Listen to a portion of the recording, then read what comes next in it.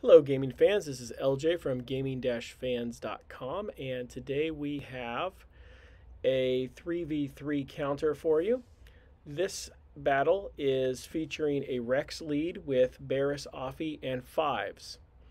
Now, I've gone a little heavy on this one, a little heavier than most of the time.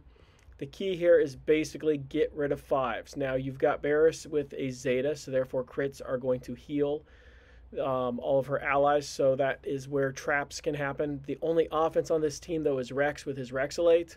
So the key here is get rid of Fives so you can get to Rex, and then once you kill Rex, there's no risk of losing. There is a risk of timeout only if you have a team that crits a lot. Now, in this case, I have a Relic 8 GAS. Uh, I had a back row that had um, a few teams in it, and I had plenty of offense, so it ended up being an easy 54 for the win there you go. That's your uh, counter there. Have a great day.